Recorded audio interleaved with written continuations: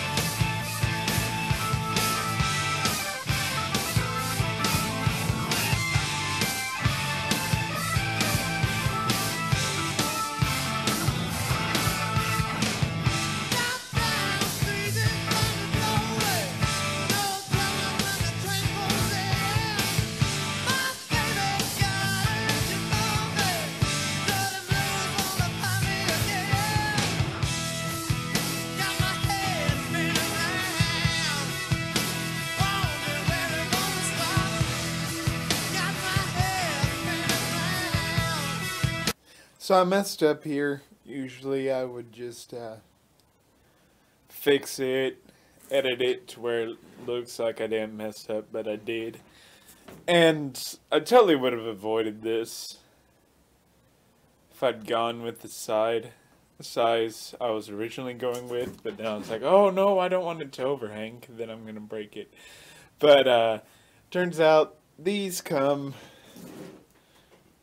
probably three eighths of an inch over the sides, besides on that side. Wait. So let's make that, yeah, we'll still say three eighths, that's pretty far. But they come over. So what I'm going to do is just draw, drill down to the exact depth of this and uh, have a little section for that to go into there on each side and then act Oh, of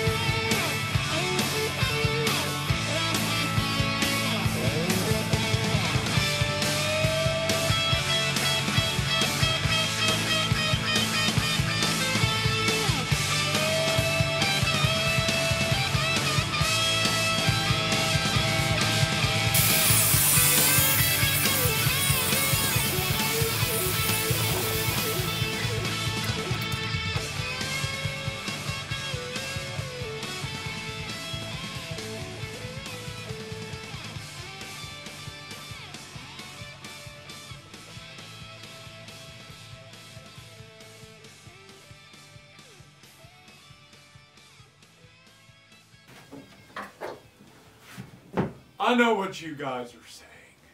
Isaac, there's a big lip around here, you idiot. There's no way anybody's gonna want to buy this, much less sit on it. Well, that's for part two of this episode.